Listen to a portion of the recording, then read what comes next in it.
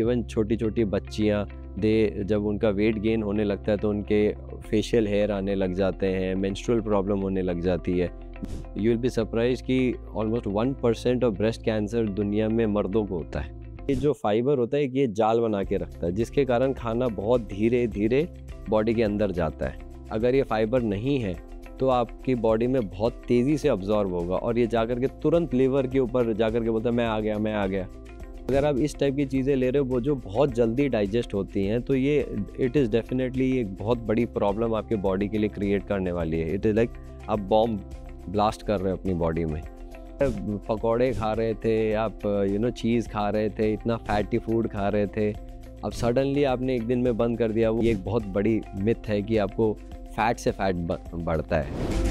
Hello and welcome to ABP live and ABP health आज हमारे साथ है डाइटिशियन निखिल चौधरी जो एक डिज़ीज़ रिवर्सल एक्सपर्ट है। डिजीजेस होने पे दवाइयाँ तो सभी खाते हैं लेकिन आपने कभी ये नहीं सोचा होगा कि सिर्फ़ डाइट से डिज़ीज़ रिवर्स भी हो सकते हैं। आज हम डाइटिशियन निखिल चौधरी से बात करेंगे पूछेंगे कि एक हेल्दी डाइट की हमारी लाइफ में क्या इंपॉर्टेंस होती है। सर जैसे हमने प्रेग्नेंट वेमेन की भी बात की अभी तो ऐसा माना जाता है कि जब आप प्रेग्नेंट है तब आपको दो लोगों के लिए खाना चाहिए। करेक्ट और इस वजह से कई बार लोग ओवर ईटिंग भी कर लेते हैं। तो इससे क्या उनकी बॉडी को कुछ हार्म होता है या उन्हें दो लोगों के लिए खाना चाहिए या एक ही के लिए खाना चाहिए? ये बहुत अच्छा सवाल है तनिषा जी क्योंकि अगर आप देखोगे ना कि ये दो लोगों के खाने की एक बात कर सकते हो आप दूसरी तरीके से आप देखोगे ना आज के डेट में अगर आप प्रेगनेंसी रिलेटेड प्रॉब्लम्स देखते तो सबसे बड़ी प्रॉब्लम है डायबिटीज़ जो प्रेग्नेंट औरतों को होती है जिसको कहते हैं जेस्टेशनल डायबिटीज़ और बहुत लोगों में प्रेगनेंसी के बाद ये ठीक हो जाती है, लेकिन आंकड़े कहते हैं कि लगभग दस परसेंट लोगों को वो डायबिटीज़ परमानेंट हो जाती है औरतों को, ठीक है? तो सिर्फ़ डायबी मतलब प्रेगनेंसी की बात नहीं है ओवरऑल भी अगर आप देखोगे तो आज की डेट में जो लोगों की प्रॉब्लम है हेल्थ से रिलेटेड प्रॉब्लम है, वो मेजरली ओवर ईटिंग के कारण ही है राइट अब डायबिटीज़ औरत के केस में भी अगर आप देखोगे तो उनको दो लोगों का खाना चाहिए, उनके खाने का इंटेक बढ़ जाता है, बढ़ना चाहिए ज़्यादा एनर्जी वाली चीज़ें चाहिए लेकिन क्वालिटी ऑफ़ फ़ूड वहाँ पे भी इम्पोर्टेंट होता है। अगर आप होल ग्रेन्स खिलाते हो उनको कभी डायबिटीज़ नहीं होगा। राइट? right? अगर आप उनको बहुत सब्ज़ियाँ देते हो फ्रूट्स देते हो तो डायबिटीज़ कभी नहीं होगा उनको। लेकिन अगर वही चीज़ आप समझिए कि उनको रिफाइंड ग्रेन्स दिए जा रहे हैं दूध पिलाया जा रहा है वो मीठा खिलाया जाता है घी वाला घी खिलाया जा रहा है अब घी भी बुरी चीज़ नहीं है। लेकिन आप सब कुछ इतना सारा खा रहे हो फिर आप बोलोगे कि घी हेल्दी है तो बॉडी के लिए वो ओवरडोज हो जाता है राइट हम्म। तो ओवरऑल जो कैलोरी का इंटेक है वो भी एक रियलिटी है बट उससे बड़ी रियलिटी है कि आप किस टाइप का खाना खा रहे हो राइट right? आप वाइट राइस सौ ग्राम लो आप सौ ग्राम रेड राइस लेते हो तो दोनों की कैलोरी सेम है लेकिन उसमें फाइबर हो वो बॉडी को सौ ग्राम मतलब चार सौ कैलोरी मिलते ही नहीं है वो रोक देता है तो even in case of diabetes अब जैसे हाइपरटेंशन की आप बात करो तो जो भी प्री मेच्योर डिलीवरीज हो रही हैं मिस कैरेजेस हो रहे हैं बहुत औरतों को हाइपरटेंशन होता है during pregnancy it's a very big problem पैरों का सूजना राइट क्योंकि आप चल नहीं सकते हो। तो ये जो प्रॉब्लम है बेसिकली आपकी फ़ूड इनटेक बढ़नी चाहिए उस टाइम पे और बॉडी अपने अब आपके आंतों में जो बैक्टीरिया होते हैं, ये भी खाना को ज़्यादा डाइजेस्ट करते हैं जब आप प्रेग्नेंट होते हो। मतलब आपका सिस्टम इतना अमेजिंग है। लेकिन अगर आप क्वालिटी ऑफ़ फ़ूड पे ध्यान नहीं दोगे तो फिर वो diabetes hypertension miscarriages hormonal problems weight gain उन सब डायरेक्शन में आपकी बॉडी जाएगी। So quality of food is always primary यानी अगर हम even if we eat for two people और अगर हम हेल्दी खा रहे हैं तो that can be good for you absolutely hundred percent okay और ऐसे मतलब जब लोग कहते हैं कि हमें प्रेग्नेंट होना है तो उसके लिए वो स्पेशल डाइट लेते हैं और जो लोग ऑलरेडी प्रेग्नेंट है वो एक तरह की डाइट लेते हैं। तो इन दोनों डाइट्स में क्या फ़र्क है? प्रेगनेंसी uh, के बाद वाली डाइट मैं जनरली नहीं करता हूँ। मैं अवॉइड करता हूँ। मैं यही कहता हूँ कि आप अपनी मम्मी और सासू माँ से पूछिए क्या खाना चाहिए they are better experts but मेरे पास बहुत सारे ऐसे पेशेंट्स आते हैं स्पेशली आजकल बहुत ज़्यादा हो रहा है। आपने भी ये देखा होगा कि इनफर्टिलिटी क्लिनिक्स हर गली मोहल्ले में खुल गए हैं तो बहुत सारे पेशेंट्स ऐसे आते हैं जो कंसीव नहीं कर पा रहे हैं। और जनरली मतलब मैं कोई बायस नहीं हूँ मील शावनिस्ट नहीं हूँ लेकिन जनरली प्रॉब्लम जो है औरतों में होती है क्योंकि उनके आजकल पीसीओडी बहुत कॉमन हो रखा है राइट एंड ये भी एक हार्मोनल चेन है जैसे आप मैंने कोलेस्ट्रॉल की बात बताई कोलेस्ट्रॉल के बाद टेस्टोस्टेरोन बनता है प्रोजेस्ट्रॉन बनता है तो ये जब चीज़ों में दिक्कतें आने लगती है तो आपके ओवरी में जैसे एग जो निकलना चाहिए, निकल करके वो आकर के एक जगह पे बैठता है, जहाँ पे अगर मेल सीमन जाता है तो वो फर्टिलाइज होता है। तो वो एग ना आपके ओवरी से रिलीज़ नहीं हो पाते, वहाँ पे थोड़े थोड़े मेच्योर होते हैं वो, लेकिन वो रिलीज़ नहीं होते। तो ये इमेच्योर, आधे मेच्योर्ड एग्स जब रिलीज़ नहीं होते हैं तो वहाँ पे एक मतलब आप समझ लीजिए कि सिस्ट बन जाते हैं वो, जिसको बहुत सारे सिस्ट बनने से हम इसको कहते हैं polycystic, P C O D. जो डिज़ीज़ होता है और पी एस जो सिम्टम्स होते हैं, ठीक है?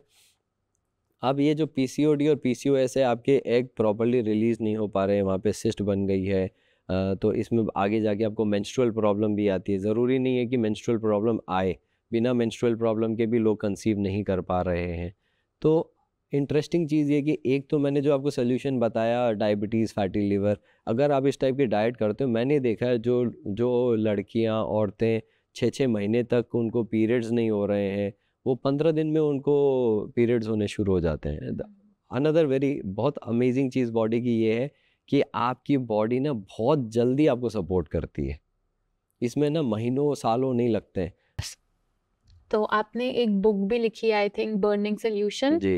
And that is about acidity. Yes. या तो उस बुक में आपने क्या बताया है? एसिडिटी तो बहुत ज़्यादा बड़ी प्रॉब्लम है सबको होती है। एसिड रिफ्लक्स चाय पीने से एसिडिटी पूरे दिन खाना ना खाने से एसिडिटी तो उस पर आपका क्या कहना है?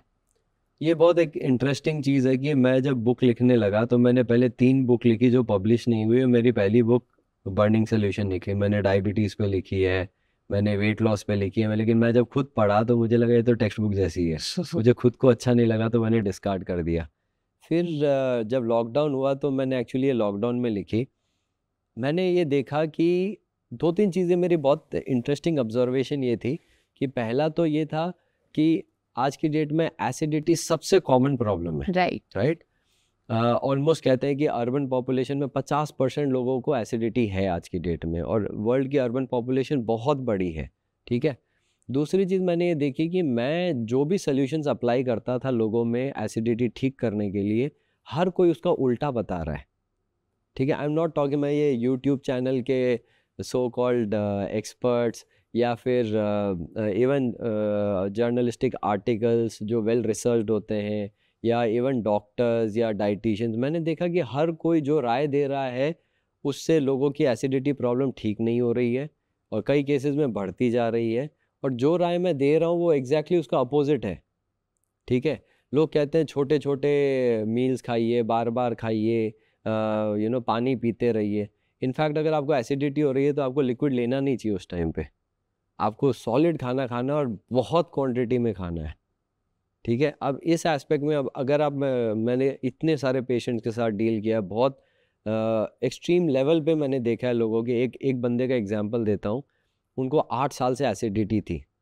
चेन्नई के थे और उनको आठ साल से एसिडिटी थी। वो, उनको एक अच्छी जॉब मिली दुबई में। वो दुबई चले गए। रमज़ान का महीना था। वो पंद्रह दिन में जॉब छोड़ के वापस आ गए एसिडिटी के कारण। और आठ साल में हर डॉक्टर में, चेन्नई चेन्नई तो हब है मेडिकल हब है राइट वहाँ तो इंडिया के बेस्ट डॉक्टर्स हैं। अब उन्होंने हर डॉक्टर को दिखाया, उनको सोल्यूशन नहीं मिला। हर दवाई ट्राई करी सोल्यूशन नहीं मिला। आयुर्वेदा यूज़ किया, होम्योपैथी यूज़ किया, उनानी यूज़ किया। वो एक लौता बंदा है जिसको मैंने देखा है, उसने एसिडिटी के लिए एक्यूपंक्चर तक करवाया। वो सुई गोपता है ना बॉडी में एक्यूपंक्चर वो तक करवाया और उसको रिलीफ नहीं मिला। जब वो हमारी, मेरे पास आए किसी रेफरेंस के थ्रू तो आप जान के हैरान हो जाएँगे कि आठ साल की एसिडिटी थी उनको, उनकी दवाई फ़र्स्ट डे बंद हो गई। और आज तक उन्होंने दवाई नहीं ली है। अब एसिडिटी का कोई टेस्ट नहीं होता। आप कोई ब्लड सैंपल दे करके ये नहीं कह सकते कि इनकी एसिडिटी इनको इनको एसिडिटी नहीं है। तो मैंने एक बहुत अच्छा मैंने सोचा कि अगर हम कहते हैं कि हम एसिडिटी ठीक कर रहे हैं तो इसका क्राइटेरिया क्या रखोगे आप? आप आदमी से पूछो कि एसिडिटी है। कई बार तो उनको पता ही नहीं होता कि उनको एसिडिटी हो रही है। सिम्टम्स ऐसे होते हैं, जैसे सूखी खांसी। पता ही नहीं डॉक्टर्स को ही नहीं पता है कि ये एसिडिटी के कारण होती है। एक मेडिकल कॉलेज की ओनर एंड डायरेक्टर सारे फैमिली मेंबर्स डॉक्टर्स उनके, वो उनका बेटा डॉक्टर मेरे को एक शादी में मिला, एक फ्रेंड की शादी में मैं इंट्रोड्यूस हुआ, बताया मैंने मैं क्या करता हूँ तो उन्होंने पूछा कि निखिल मेरी मदर को ऐसे ऐसे है, एक साल से हम लोग सारे, सब टेस्ट करा चुके हैं, सारे डॉक्टर्स वो तो डॉक्टर्स प्रोड्यूस करते हैं राइट मेडिकल कॉलेज के ओनर डायरेक्टर तो। तो उन्होंने उन्होंने पूछा कि निखिल ये क्या कर सकता है? मैं मन ही मन मुस्कुरा रहा था कि अरे भाई ये एसिडिटी है। उनको सिर्फ़ सूखी खांसी हो रही है। लेटती हैं तो खांसी ज़्यादा हो जाती है। और वो सब कुछ ट्राई कर चुकी थी। और हमने डाइट चेंज करी और एक हफ़्ते के अंदर उनकी खांसी परमानेंटली गायब हो गई। ठीक है? मैंने ये सोचा कि इसको एक क्राइटेरिया तो देना पड़ेगा कि अगर एसिडिटी ठीक हो गई तो आप जानोगे कैसे? तो सबसे पहली चीज़ कि जो भी पेशेंट है, जो भी इंसान है, जिसको एसिडिटी थी, उसको दवाइयों की ज़रूरत ना पड़े। ये पहला क्राइटेरिया कि आप दवाई लेना बंद कर दिए हैं या नहीं ले रहे हैं, फिर भी आपको मतलब दवाइयों की ज़रूरत नहीं पड़ रही है। दूसरा क्राइटेरिया मैंने बोला कि ये जो पंद्रह बीस सिम्टम्स हमने आइडेंटिफाई किया है, जैसे किसी किसी का बीपी फ्लक्चुएट करता है बहुत तेज़ी से, ऐसे नॉर्मल रहता है बीपी और ऐसे बहुत तेज़ी से बीपी फ्लक्चुएट करता है तो वो भी एसिडिटी के कारण होता है कई बार। लेकिन अगर आपका बीपी ज़्यादा है तो पहले आप अपना चेकअप करें क्योंकि हार्ट हार्ट अटैक और एसिडिटी के सिम्टम्स भी सेम होते हैं। तो ये बहुत इंपॉर्टेंट है कि आप खुद सेल्फ डायग्नोज ना करें कि मुझे एसिडिटी और पता चला हार्ट अटैक आया था ठीक है? हार्ट अटैक आया तो गाजर खीरा मूली खाने से वो नहीं होगा आपको डॉक्टर के पास जाना पड़ेगा राइट तो सेकंड क्राइटेरिया ये था कि जैसे जो भी सिम्टम्स हैं वर्टिगो होता है लोगों को चक्कर आने लग जाते हैं लोगों को भूख नहीं लगती है लोगों का वेट गिरने लगता है तो ये सारे क्राइटेरियाज आपके जो भी सिम्टम्स हैं, ये नहीं होने चाहिए। तीसरी सबसे इंपॉर्टेंट चीज़ मैंने ये कहा कि आपको ऐसा नहीं होना चाहिए कि आप चाय पी रहे हो तो एसिडिटी हो रही है बर्गर खा रहे हो तो एसिडिटी हो रही है बिरयानी खा रहे हो तो एसिडिटी हो रही है। ये एक चॉइस होनी चाहिए कि मैं ये चीज़ें नहीं खाऊँगा क्योंकि ये अनहेल्दी है। ऐसा नहीं होना चाहिए कि अरे यार, मैं ये खाऊँगा तो एसिडिटी हो गई। तो मेरे जो जिन पेशेंट की मैं बात करा रहा हूँ उनके डाइट प्रोग्राम में ये भी था कि आपको बर्गर भी खाना है आपको बिरयानी भी खानी है आपको चाय पी करके भी हमको बताना है एसिडिटी हो रही है या नहीं हो रही है। तो ये थर्ड क्राइटेरिया था कि आप सब कुछ खा सकते हो और उससे आपको एसिडिटी ना हो। ओके okay, तो हमने डाइट से एसिडिटी को क्योर कर दिया हाँ, और फिर हम वही सब चीज़ें खा रहे हैं। खा नहीं रहे हो। पॉइंट ये कि आपको उससे एसिडिटी नहीं हो रही है। लेकिन आप वो अगर खाते रहोगे तो वापस वही हार्मोनल इम्बैलेंस और एसिडिटी की तरफ़ आप चले जाओगे। और जो चौथा क्राइटेरिया था वो मैंने ये रखा कि आप कम से कम 36 घंटे तक सिर्फ़ पानी पी करके फास्टिंग करते हो तो भी एसिडिटी ना हो। क्योंकि अगर एसिडिटी वाले पेशेंट्स को अगर आप देखते हो तो अगर वो दो घंटे, तीन घंटे वो खाना नहीं खाते तो भी उनकी हालत ख़राब हो जाती है राइट वो एसिडिटी का अटैक आ जाता है उनको। तो वो ये जो चार क्राइटेरिया जब क्रॉस होते हैं, तब मैं कहता हूँ हाँ अब आपकी एसिडिटी ठीक हो गई है। Ultimately they lose the battle कि वो कैंसर से जो है ना आज इंडिया मतलब पूरे वर्ल्ड में इतने लोग मर रहे हैं कैंसर से। अब मेरे को लगता है अब जैसे कीमोथेरेपी या सर्जरी या इम्यूनोथेरेपी बहुत अमेजिंग टूल्स हैं अगर आपकी बॉडी इनको टॉलरेट कर पाए तो। तो it becomes very very important तो एसिडिटी जो है अगर आप एसिडिटी को मेंटेन कर लेते हो कंट्रोल कर लेते हो तो मैं सो मेरी पर्सनल ओपिनियन है ये कि at least seventy to eighty percent लोग कैंसर से ठीक हो जाएँगे क्योंकि वो अपने डोजेज को और प्रॉपरली ले पाएँगे प्रॉपर कंप्लीट कर पाएँगे कोर्स कंप्लीट कर पाएँगे। और uh, मतलब ये ये एक बहुत इंपॉर्टेंट चीज़ है। That is what led me कि मैं इस चीज़ के ऊपर लोगों को एक अवेयरनेस क्रिएट करूँ और एक डॉक्यूमेंटेड चीज़ बनाऊँ। और ये बुक को मैंने लिखा भी ऐसा है कि एक टेंथ स्टैंडर्ड का बच्चा भी उसको पढ़ करके समझ सकता है। Okay and I think it's very well received also thank you तो मैं... जैसे हमने कैंसर की बात करी और लोग तो कैंसर के ट्रीटमेंट पे लाखों करोड़ों खर्च कर देते हैं। और मैंने सुना है कि आपने लोगों का कैंसर रिवर्स कर दिया है सिर्फ़ डाइट से। करेक्ट मेरे कुछ केसेस हैं जो लास्ट स्टेज कैंसर्स के थे जिसमें कोई भी ट्रीटमेंट पॉसिबल नहीं था तो उनको वापस भेज दिया गया था। और उन केसेस में हमने अमेजिंग रिज़ल्ट देखे कि खाने पीने और लाइफस्टाइल से उनका कैंसर कम होता चला गया और डॉक्यूमेंटेड भी है मैंने इन पेपर्स को पब्लिश भी किया है। इन दिनों वो होता नहीं है क्योंकि आखिरी टाइम तक कुछ ना कुछ मेडिकल सॉल्यूशंस अवेलेबल है जिनको ट्राई करते हैं। और उस ऐसे केसेस में भी कैंसर ठीक होता है लोगों का लेकिन इन केसेस में मैं ये नहीं कह सकता कि डाइट या लाइफस्टाइल के कारण हुआ है क्योंकि उसमें मेडिसिन भी इन्वॉल्व थी बहुत सारे थेरेपीज़ इन्वॉल्व होती हैं। लेकिन कुछ केसेस ऐसे थे जिसमें हमने क्लियर रिजल्ट्स देखे हैं, ठीक है? अगर आप परसेंटेज में पूछोगे कि कितने परसेंट लोगों का ठीक हुआ लास्ट स्टेज कैंसर वो zero point zero one percent होगा। लेकिन मेडिकल साइंस के अकॉर्डिंग भी, अगर आप लास्ट स्टेज कैंसर में कोई भी तरीके से किसी बंदे की जीवन को आप एक दिन भी बढ़ाते हो, एक दिन, सिर्फ़ एक दिन भी अगर आप उसको बढ़ा सकते हो तो वो एक बहुत अमेजिंग चीज़ है। और यहाँ पे हम कह रहे हैं कि आपने कैंसर की ग्रोथ को रोक दिया कैंसर की ग्रोथ को कम कर दिया ट्यूमर का साइज़ कम कर दिया तो ये एक बहुत बहुत बड़ी चीज़ है ठीक है? और मेरा कोई आइसोलेटेड केस नहीं है। हज़ारों लोगों का हुआ है डॉक्यूमेंटेड है लोगों ने पीएचडी कर रखी है इस चीज़ के ऊपर लोगों ने बहुत सारे फैक्टर्स को स्टडी किया है कि जितने भी लोगों का ठीक हुआ जिनको घर भेज दिया गया था कि तुम मरने वाले हो और वो मरे नहीं, उनका कैंसर ठीक हो गया तो ऐसी कौन सी आठ दस चीज़ें थी जो सब में कॉमन है? इस चीज़ के ऊपर किताबें लिखी गई हैं, इस चीज़ के ऊपर लोगों ने पीएचडी करके रिसर्च पेपर्स पब्लिश किए हैं, लेकिन लोगों का इंटरेस्ट नहीं है। इंटरेस्ट क्यों नहीं है? क्योंकि पहली चीज़, दवाइयाँ बेचने में पैसे बहुत होते हैं और हर चीज़ इकोनॉमिकली ड्रिवन है, क्योंकि आज आप यहाँ बैठे हो, मैं यहाँ बैठा हूँ, अगर हमारा घर नहीं चलेगा तो हम कोई भी चीज़ नहीं कर सकते राइट तो इकोनॉमिक्स बहुत इंपॉर्टेंट है इस चीज़ का लेकिन रिसर्च का जो डायरेक्शन है वो थोड़ा सा चेंज होना चाहिए। अब इस चीज़ में जो है गवर्नमेंट हो गई जो भी फंडिंग मतलब गवर्नमेंट बहुत फंड्स देती है रिसर्च के ऊपर तो मुझे लगता है कि थोड़ा सा इस चीज़ को चेंज होना चाहिए। क्यों होना चाहिए? एक नॉर्मल आदमी सोचता है कि मुझे कैंसर हो गया है ठीक है? मैं इस कैंसर को कैसे मारूं? ठीक है? सारे हथियार मारने के लिए यूज़ होते हैं कैंसर में। चाहे आप सर्जरी देख लीजिए जिसमें काट के फेंक दिया जाता है उसको। चाहे आप रेडिएशन देख लीजिए जिसमें उसको जलाया जाता है। चाहे आप कीमोथेरेपी देख लीजिए जिसमें उसको मारा जाता है, राइट? पॉइजन किया जाता है। तो ये जितने भी टूल्स हैं, ये मारने के लिए किए गए हैं। लेकिन आप एक चीज़ समझिए कि कैंसर जो है, वायरस या बैक्टीरिया की तरह नहीं है जो बाहर से आया है। बॉडी ने उसको खुद बनाया है। और बॉडी जो है एक बहुत एफिशिएंट सिस्टम है। बॉडी कोई भी काम बिना वजह नहीं करती है। अब एक एग्जांपल देता हूँ जैसे आप किसी भी आदमी का अगर वेट बढ़ता है तो तोंद बढ़ती है राइट हाथ नहीं फूलते पैर नहीं फूलता सिर नहीं फूलता तोंद निकलती है। क्यों? क्योंकि फैट बनाने का काम और उस फैट को बाद में तोड़ने का काम दोनों लिवर करता है जो आपके रिब्स के नीचे राइट लिब्स के आसपास होता है। तो इसके लिए ये बहुत आसान है। कि बना के यहाँ रख दिया, जब चाहिए यहाँ से ले लिया।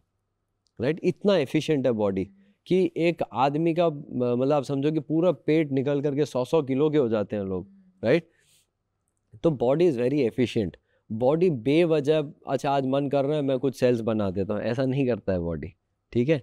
लेकिन इस चीज़ के ऊपर कोई इंटरेस्टेड ही नहीं है रिसर्च ही नहीं है कि बॉडी को कैंसर की ज़रूरत क्या पड़ी।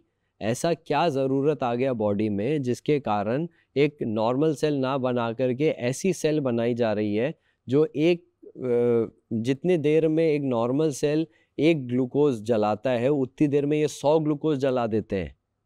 और अगर एक ग्लूकोज से तीस पैंतीस एनर्जी निकलती है, उसके बदले ये सिर्फ़ तीन चार एनर्जी निकाल रहे हैं। तो ऐसी क्या ज़रूरत पड़ गई? इतना भयंकर एनर्जी इम्बैलेंस बनाने करने वाले सेल्स को बनाने की ज़रूरत क्या पड़ गई? ज़रूरत थी तभी एक सिग्नल गया। उस सिग्नल के कारण कोई, कुछ डीएनए के जीन्स एक्टिवेट हुए। वो जीन्स जब एक्टिवेट हुए, तब बॉडी ने कैंसर सेल्स बनाए। डीएनए कुछ नहीं करता डीएनए अपने आप में कुछ नहीं है। अगर आप कैंसर सेल और नॉर्मल सेल का देखोगे, एक रिसर्च हुई थी, उसका पूरा का पूरा डीएनए एक्सचेंज कर दिया गया। नॉर्मल सेल का डीएनए कैंसर सेल में डाल दिया, कैंसर सेल का डीएनए नॉर्मल सेल में डाल दिया। उसको जब बढ़ाया गया जब उसको रेप्लिकेट किया गया तो कैंसर डीएनए वाला नॉर्मल सेल फिर भी नॉर्मल रहा। और नॉर्मल सेल नॉर्मल डीएनए वाला कैंसर सेल वो कैंसरस रहा।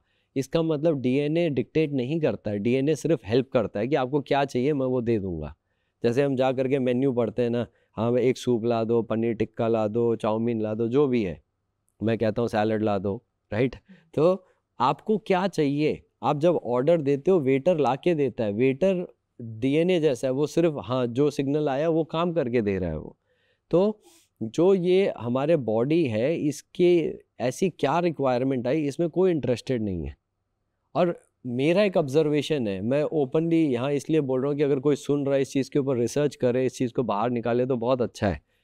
मैंने अपनी ज़िंदगी में, मैंने हज़ारों कैंसर पेशेंट्स के साथ डील किया है, मैंने 43 कंट्रीज़ में लोगों के साथ काम किया है और मैंने अपनी ज़िंदगी में आज तक एक भी आलसी इंसान को मेंटली फिजिकली आलसी इंसान को कैंसर होते नहीं देखा है। ये बहुत बहुत शॉकिंग होगा लोगों के लिए। आप अगर अभी सोचो पाँच जने जिनको कैंसर था, आप सोचो क्या वो लोग आलसी थे? आई एम नॉट टॉकिंग कि वो बीमार हो गए उनकी तबीयत ख़राब हो गई उन्होंने बेड पकड़ लिया तो वो आलसी हो गए वैसे नहीं। कैंसर डायग्नोसिस से पहले की सोचिए। कोई भी मैंने आज तक अपनी ज़िंदगी में कोई आलसी इंसान नहीं देखा। इस पर रिसर्च नहीं होनी चाहिए। होनी चाहिए मतलब ना। आलसी लोगों को कैंसर नहीं होता है। मेरी जो पर्सनल रिसर्च है देखो मैं कुछ चीज़ें ये कह रहा हूँ कि मेरा पर्सनल व्यू पॉइंट है क्योंकि अगर आप कहोगे कि इसको प्रूव करिए तो ऐसी कोई रिसर्च अवेलेबल नहीं है लेकिन ये एक आइडिया मैं थ्रो कर रहा हूँ। मैंने देखा है कि अगर आप आलसी हो और आप अनहेल्दी डाइट फॉलो कर रहे हो, अनहेल्दी लाइफस्टाइल फॉलो कर रहे हो तो आपकी बॉडी जो है वो ऑर्गेन फेलियर की तरफ़ जाती है। आपको डायबिटीज़ हो जाएगा, कोलेस्ट्रॉल हो जाएगा, लिवर ख़राब हो जाएगा, आपका, आपकी किडनी ख़राब हो जाएगी, यू नो, लंग्स में प्रॉब्लम, फेफड़ों में प्रॉब्लम आनी शुरू हो जाएगी, खून मोटा हो जाएगा, स्ट्रोक आ जाएगा, बीपी हो जाएगा, हार्ट अटैक आ जाएगा दिस काइंड ऑफ़ प्रॉब्लम्स ठीक है? और अगर मेरी पर्सनल व्यू है ये, कि अगर आप अनहेल्दी खाना खा रहे हो, बहुत ज़्यादा एक्टिव हो, ठीक है? चौबीसों घंटे काम करना है, थक गए तो आराम नहीं करना है, आप जो है कॉफ़ी पी लोगे, आप स्नैक्स खा लोगे, फिर काम किए ही जा रहे हो, किए जा रहे हो राइट तो देर आर चांसेस कि बॉडी शायद अपना एनर्जी मेटाबॉलिज्म चेंज करती है, जो over a period of time आपको कैंसर की तरफ़ ले जा सकता है। ये सिर्फ़ जब मैं कह रहा हूँ एक्टिव होने की बात, जब मैं कह रहा हूँ, ये फिज़िकली या मतलब खाली काम की बात नहीं है। जैसे अगर आपको कहीं चोट लग गई तो उस पॉइंट पे आपकी बॉडी बहुत ज़्यादा एग्रेसिवली एक्टिव होती है। वहाँ पे एनर्जी की रिक्वायरमेंट बहुत ज़्यादा होती है। तो हो सकता है कि इस चीज़ के ऊपर एक रिसर्च होनी चाहिए। अब मेरे केसेस आप कहोगे लास्ट स्टेज कैंसर के ठीक होने के केसेस दो, चार, पाँच, दस जो होंगे, जिनमें और कोई चीज़ भी नहीं की गई थी। अब हर अलग अलग टाइप के कैंसर्स थे। अब अब मेरे को, मैंने जब ये प्रेजेंट किया इंटरनेशनल कॉन्फ्रेंसेज में तो लोगों ने कहा, ये बहुत अच्छी रिसर्च है, लेकिन सैंपल साइज़ छोटा है। मैं ऐसा बंदा नहीं हूँ जो मैं करोड़ों रुपए खर्च करके 500 लोगों को एक जगह पे ला करके वो रिसर्च कर सकूँ। ये काम फंडिंग एजेंसी जैसे गवर्नमेंट है, उनका है। अगर एक केस में भी होता है ना, देखो, सच्चाई जो है ना, वो हंड्रेड परसेंट केसेज में एप्लीकेबल होती है। अगर एक केस में भी वो हो रहा है, उसमें कुछ सच्चाई है, उस सच्चाई को ढूंढना बहुत ज़रूरी है। सच्चाई कभी भी 99 परसेंट पे एप्लीकेबल नहीं होगी। अगर 99 परसेंट में एप्लीकेबल और एक केस में एप्लीकेबल नहीं है तो भी वो सच्चाई नहीं है। It is not the truth और अगर एक केस में एप्लीकेबल है और 99 में नहीं है तो भी उसमें कुछ सच्चाई है जिसको ढूंढना बहुत ज़रूरी है। वो डायरेक्शन होना बहुत ज़्यादा ज़रूरी है। अगर हम सोच रहे हैं कि अब हमें कैंसर हो गया है और हमें बाकी कोई थेरेपी नहीं लेनी, सिर्फ़ हमें डाइट से क्योर करना है इसे तो क्या हम कीमोथेरेपी या रेडिएशन थेरेपी, कोई भी थेरेपी बंद करके बिल्कुल सिर्फ़ डाइट पे डिपेंडेंट हो सकते हैं कैंसर क्योर करने के लिए। मेरी छोड़िए अगर कोई भी आपको ये सलाह दे रहा है तो ये बिल्कुल मत मानिएगा। ये आपके लिए बहुत ज़्यादा नुकसानदायी होगा। अगर आप अगर मैं अपने पेशेंट्स की भी बात करूँ, जो पेशेंट्स मेरी डाइट लाइफस्टाइल फॉलो करके साथ में कीमोथेरेपी ले रहे थे, जिनकी सर्जरी हुई या जो भी इम्यूनोथेरेपी ले रहे थे रेडिएशन करवा रहे थे, उनके केसेस ऑफ़ रिकवरी मैं कहूँगा कि जिन्होंने भी फॉलो किया, वो 99 परसेंट है। और जिनके केसेस में ये चीज़ें पॉसिबल नहीं थी, उनके केस में लेस देन वन परसेंट है। I would say probably zero point zero one percent है। अब इसमें जब हम फैक्टर इन करते हैं कि लोग फॉलो नहीं कर पाते हैं डाइट अब कैंसर की कैंसर ठीक करने के लिए आप सोचिए कि it is not going to be easy diet follow करना भी आसान नहीं होगा। आपने पूरी ज़िंदगी एक तरीके का खाना खाया अब अचानक से आपको सब कुछ चेंज करना है तो वो भी हर किसी के लिए आसान नहीं होता है और वो आपको बहुत लंबे टाइम तक करना होता है राइट? तो इट इज़ नॉट ईजी। लेकिन अगर आप कीमोथेरेपी कर रहे हो अगर आप रेडिएशन थेरेपी कर रहे हो अगर आपके केस में सर्जरी पॉसिबल है तो उसको मत रोकिए। आपको ये करना है कि आप उस चीज़ को सपोर्ट कैसे करोगे? मैं आपको एक दो एग्ज़ाम्पल देता हूँ। जैसे आज अगर आप किसी भी डॉक्टर के पास जाते हो जनरली ना तो कीमोथेरेपी के लिए वो एक प्लान बनाते हैं। और वो कहते हैं कि हम पहले तीन या चार साइकिल करेंगे, उसके बाद देखेंगे।